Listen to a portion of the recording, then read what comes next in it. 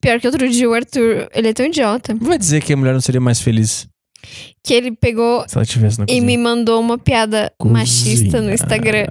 Qual? Não lembro. No Instagram não, no, no WhatsApp. Qual? E eu demorei muito. Eu não lembro. Mas era machista, era coisa de cozinha, né? E eu demorei muito pra ver. E aí eu voltei e falei, cara, o que era irônico é que eu não consegui ver antes porque eu tava cozinhando. Ah, era alguma coisa de cozinha? Aí você mandou alguma coisa de vai cozinhar e eu realmente tava cozinhando. Eu acho que a gente, uma- a gente cagou. Na verdade, não. Ai, Na verdade, tá em qualquer doido. lugar, em qualquer lugar que a mulher estiver, ela estará doida. Mas você acha que eu sou doida? Não, não. Não, não. Só porque eu acho que eu entrei na sala errada. Só porque tu fica aflita, porque tu acha que tu tá na sala errada, é só porque tu vê que tá chovendo e, e fica doida. Eu tô. na biografia do Einstein, Puta, fica muito claro que mulheres são doidas. Por e não quê? importa o quê. Por quê?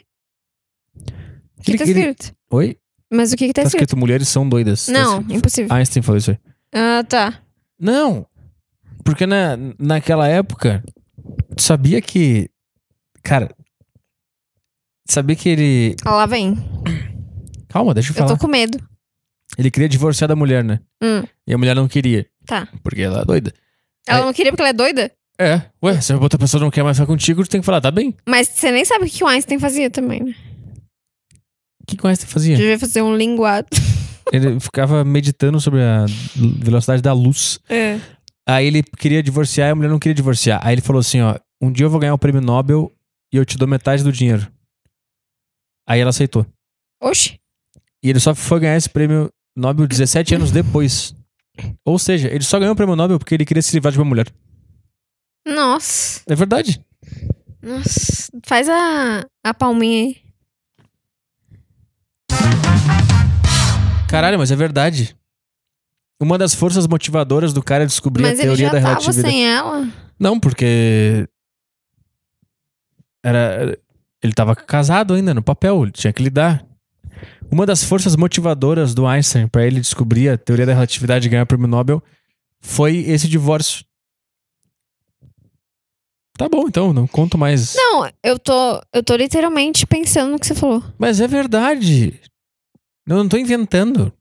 Eu acho que você tá inventando. Caralho. Ele pediu divórcio, a mulher falou que não queria. Ele falou: Eu vou ganhar o prêmio Nobel um dia e eu te Mas dou que que metade a do dinheiro. O quê? Por que, que ela concordou com isso? Porque ela ganha dinheiro. Ela queria a grana do Einstein? Ele era um, ele era um pobre fudido. Ele era, ele trabalhava num registro de patentes. E ele era professor também de física particular. Mas ele era, um- ele era meio merda, ninguém, ele não era, Ele não era rico. não, ele, ele, era- ele era um merda, ele era desempregado, ele, ele ficou anos desempregado, ninguém queria dar emprego pra ele. Puta bocejo. E aí ele Você conseguiu, é o pior pior do mundo em contar uma história. aí ele conseguiu esse emprego com um amigo dele no registro de patentes de Berna, na Suíça. E ele, ele no, no outro turno ele dava aula particular de física, mas ele era um bosta, ninguém gostava dele. Tá. Então ele não conseguia muito emprego, dinheiro e tal. Então ele não, ele não tinha dinheiro. E aí quando ele pediu divórcio, a mulher não queria divorciar. Mas não porque ele era o Einstein já. E ela queria ficar com o Einstein. Ele não era o Einstein, ele era o Alberto ainda. Ele era um cara qualquer. E aí ele, quando era um, era um cara qualquer, ele falou pra ela, ó, um dia eu vou ganhar o prêmio Nobel e eu te dou metade do dinheiro se tu aceitar divorciar comigo. E aí ela aceitou, porque ela ia ganhar dinheiro. E aí 17 anos Cara, mas depois 17 disso... anos depois. De- 17 anos depois disso que ele ganhou o prêmio Nobel. E ele deu? Não sei ainda, não cheguei nessa parte. Cara, eu não tô vendo muito sentido nisso. Puta merda. Por quê? Porque, amor,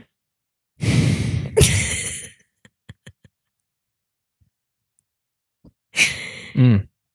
Ela queria ficar com ele, por que que essa promessa fez ela aceitar ficar sem ele? Ué, Cara, dinheiro, né? Então ela era interesseira?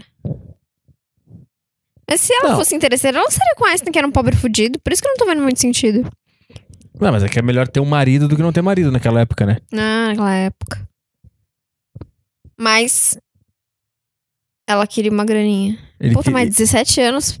É, mas era. Não, mas tu vê que a, a, a promessa era tão doida que ele não era ninguém ainda Sim. quando ele disse isso pra ela.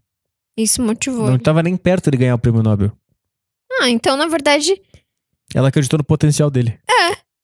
E ela fez uma coisa boa porque a loucura dela incentivou ele a se empenhar muito na vida dele. Ou seja, a mulher ela sempre é um bom incentivo pro homem, seja quando, É, seja ela é para um incentivo. seja para comer, que vocês se esforçam muito, e, e para separar, vocês também se esforçam muito. Exatamente. Ou seja, mulher é o centro do mundo. É.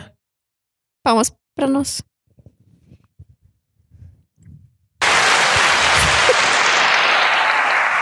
Tudo gira em torno da mulher. Sim. E digo mais. E digo mais. Pode dizer. Ele deve ter pensado assim: eu vou ganhar pra me separar, eu também vou ganhar. Pra comer gente. Exatamente. Será que ele comeu gente porque ele descobriu a teoria da Einstein. relatividade? Einstein. Não. Mas é que, é Óbvio. que, é que na, na biografia dele, diz que ele, quando ele era jovem, ele já era comedor. Mesmo sendo fudido, porque ele era bonito e alto. Tá escrito que ele era comedor. Aham. Ah, não nessas palavras, né? Como que tá escrito? Que ele fazia sucesso com as garboso? mulheres. Eu acho que Einstein devia passar o rodo. Porque esse negócio de, de gêniozinho aí, Mas essa ele não. galera passa o rodo. Mas o que tu não tá entendendo? Ele virou gênio depois. Não, mas ele devia ter vibe de gênio mesmo. Todo mundo odiava ele. Igual você. Ele era excluidíssimo. Você. vo- Não, igual você é do ódio, não, mas. Igual, igual você é introvertido. É, Einstein devia ser também, não é? ele- sim. Então, e você não comia uma galera? Não. Ah, tá bem, pra cima de mim. Não, mas lá disse que ele, era, ele fazia sucesso com as mulheres porque ele tinha um cabelo e tinha traços bonitos, ele era mais alto também. Hum. Então ele já comia uma turma. Eu tô perguntando assim, será que depois que ele ganhou o prêmio Nobel, ele comeu mais gente ainda? Porque o prêmio Acho que Nobel, sim. o prêmio Nobel não parece ser um afrodisíaco pra mulher. Ah, ganhei o prêmio Nobel. Parece uma coisa meio de nerd, assim. Nossa, cara chato. Mas tem mina que gosta Nobel. de nerd. Ele devia comer Ah, mas é que o as- cara que ganhou o prêmio Nobel, ele é nerd, é o... a máxima potência. Imagina tu chega lá e o cara fala, eu descobri que as partículas, as moléculas, elas fazem fotossíntese quando elas caminham na velocidade da luz. Eu descobri que se você colocar um espelho refletindo a velocidade da luz, a décima potência, andando de trem, você observa que o raio bateu lá e não, não aqui. Chato. É, chato, mas também você tá falando comigo, que sou um ser humano médio. E se existe uma gênia? Porra, mas aí é uma gênia, ele vai comer uma gênia, não vai comer galera. Isso É. que eu tô falando. É, ele deve ter comido uma gênia ou outra.